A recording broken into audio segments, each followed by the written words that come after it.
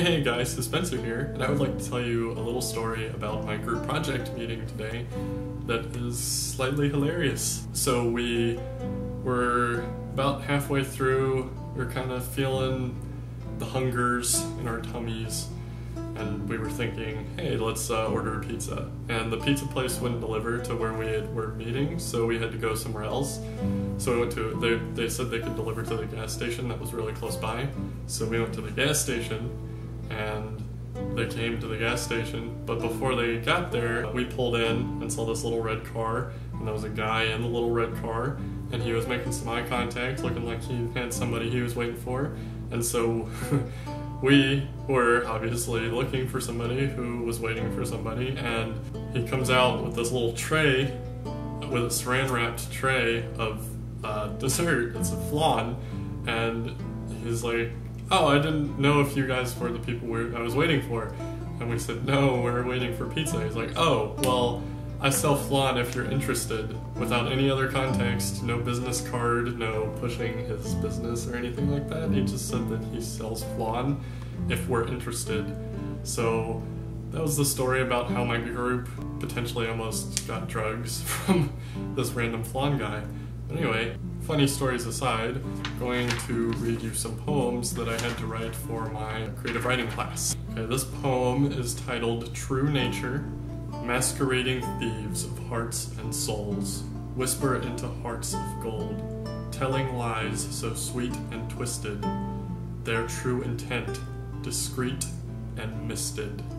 Poem number two, I write three of them. Life.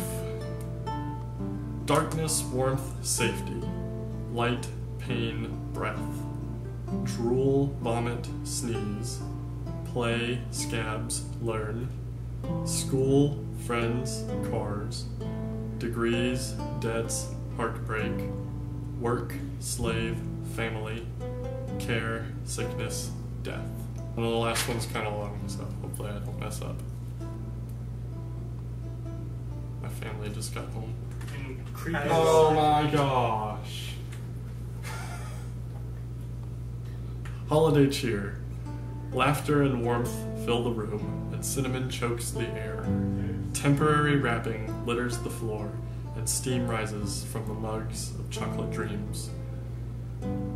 Tis a time to forget all the hurt and loss that afflicted us this year, and lead new lives without compromise till we stagger back to our old ways. The fire crackles down to ash after this Christmas day, and leave, leaving through the cold and slush, relatives and friends can't stay. As they pass through the icy veil, the flash of a smile and wave of a hand lingers in your mind. As you sit in your rocking chair, the ashes fade to dust, and you finally join your long lost friends as you knew you always must. So yeah, that was, uh, those are some of my things. Please don't judge too harshly, but let me know what you think about it in the comments if you feel like commenting. That's pretty much it. Just remember, keep doing your thing. If anybody tells you differently, dance spontaneously. I'm gonna go watch the new Legend of Korra and cry my eyes out.